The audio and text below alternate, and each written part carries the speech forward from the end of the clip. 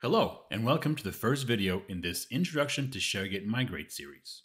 My name is Patrick, and I'm a Solution Advisor for ShareGate. This video series will help you get off the ground fast and jumpstart your testing phase if you're in a trial, or help start planning and executing your migration project if you just purchased your first ShareGate subscription. So, you just signed up for a trial or purchased ShareGate Migrate. What's the first step? The beginning of your ShareGate journey starts with the creation and activation of your ShareGate Home account. You will receive an email asking you to finalize the creation of your account after signing up for a trial.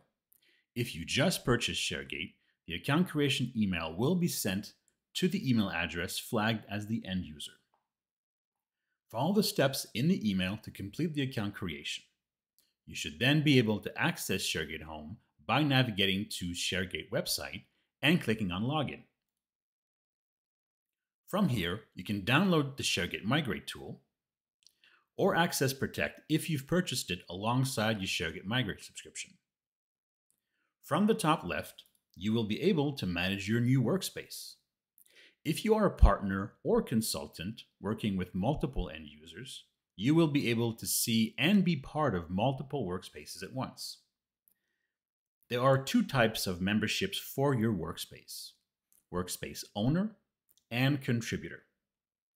As a workspace owner, you will be able to go to workspace settings, change the name of your workspace, as well as manage other members and your subscription or renewal details directly from the platform. In the members section, you will be able to view all currently active and invited members for this workspace. Clicking on the option icons allows you to manage each member, determining if their account is a workspace owner or contributor, assigning product access for both ShareGate Migrate and Protect if you've purchased it, as well as the number of machine activations assigned for this account. You can also click on Revoke Product Access to remove any and all access for both ShareGate Migrate and Protect, or remove from Workspace, which would also revoke product access, but also disassociate this account from your workspace.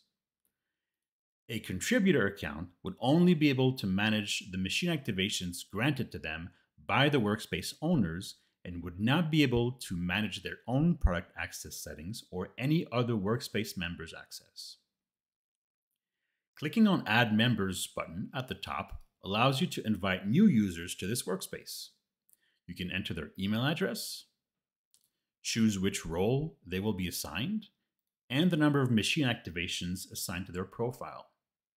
If the recipients do not have an active ShareGate Home account, they will be prompted to create one.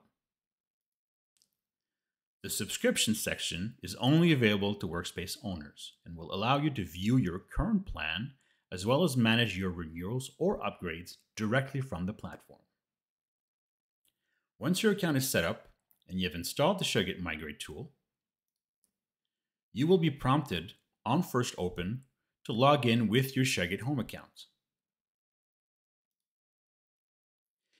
If your ShareGate Home account is assigned to multiple workspaces, you will have to pick the correct one for this specific use.